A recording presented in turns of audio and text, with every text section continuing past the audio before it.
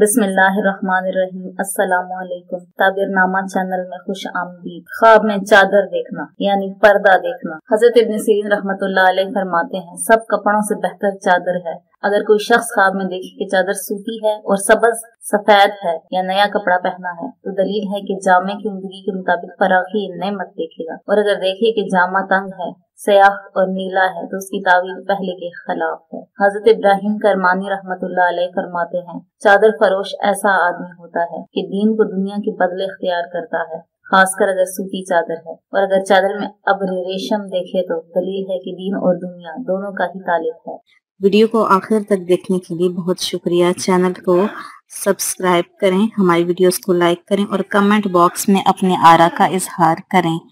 शुक्रिया